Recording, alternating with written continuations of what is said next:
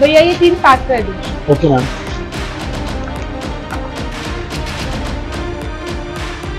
कितना हो गया भैया? मैम लीजिए पाँच सौ चालीस रुपये हो गए। पाँच हज़ार चालीस रुपए पर मेरे हिसाब से तो इसके पाँच हज़ार होने चाहिए थे। ये चालीस किस बात के दिए आपने? मैम पाँच हज़ार रुपये कपड़े के हो गए तो चालीस रूपए आपके कैरी बैग के हो गए मैम किस बात के कैरी बैग के? भैया इसमें आपका ब्रांड लिखा हुआ है। मैं नहीं देने वाली पाँच हज़ार के अलावा एक रुपए भी एक्स्ट्रा मैम देखिए आपको लेना पड़ेगा ये। भैया मैं मुझे कपड़े लेने तो है लेकिन मैं आपके इस ब्रांड वाले बैग के लिए एक रुपए भी एक्स्ट्रा नहीं दूँगी। मैम आपको कैरी बैग लेना है तो लीजिए वरना आप कपड़े हाथ में लेके जा सकते हैं। भाई क्या ये बदतमीजी है यार? मुझे शॉपिंग करने आए बिना कैरी बैग के कपड़े कैसे लेकर जाओ बाकी मुझे लेना है एक चीज़ कर सकते हो आप। आप मुझे बिना ब्रांड वाले अपने कैरी बैग दे दो बस। मैम देखिए हमारे पे यही बैग है जिस पर हमारे ब्रांड का नाम छपा हुआ है और आपको यही लेना पड़ेगा। और इसके आपको चालीस रुपये देने ही पड़ेंगे मैम। मुझे लेना है बैग भी लेनी है लेकिन मुझे एक रुपए एक्स्ट्रा नहीं देना है, बस। मैम देखिए ऐसा है आपको लेना है तो लीजिए वरना मेरा टाइम वेस्ट मत करिए। ये क्या बदतमीजी है? अरे छोटू तू रख।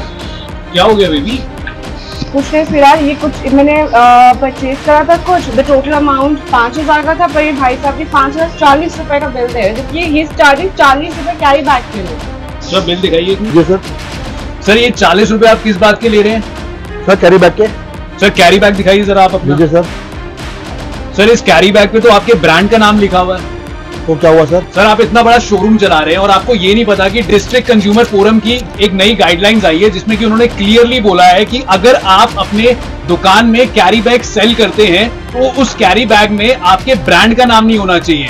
क्योंकि उससे क्या होगा कि आप अपने ब्रांड की खुद ही मार्केटिंग कर रहे हैं और आप मार्केटिंग के लिए कस्टमर से पैसे नहीं चार्ज कर सकते। और सर, मैं आपको एक और चीज़ बता देता हूँ। आपको पता है रिसेंटली 2019 में एक केस हुआ था। आपने बाटा कंपनी का नाम तो सुना होगा राइट यस बाटा कंपनी के against Chandigarh district consumer forum ने नौ हज़ार रूपए का फाइन लगाया था। क्यों? क्योंकि उन्होंने अपने कस्टमर से अपने ही ब्रांडेड कैरी बैग के तीन रुपए चार्ज किए थे। तो अब आप बताइए मैं आपकी consumer helpline dot G O V dot I N पे एक कंप्लेंट करके आपके अगेंस्ट एक कंप्लेंट रेज करूँ वहाँ पे?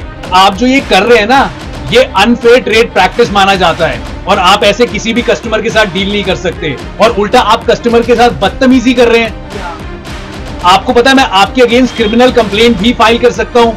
आप प्लीज़ इसमें से फोर्टी रुपीज़ काट के दीजिए और हमें कैरी बैग आप फ्री में देंगे। अरे सर दीजिए। बिकॉज़ ये हमारा राइट है। सर दीजिए पाँच हज़ार दीजिए सर सॉरी सर। लीजिए अच्छा ये लीजिए। Thank you ma'am have a good day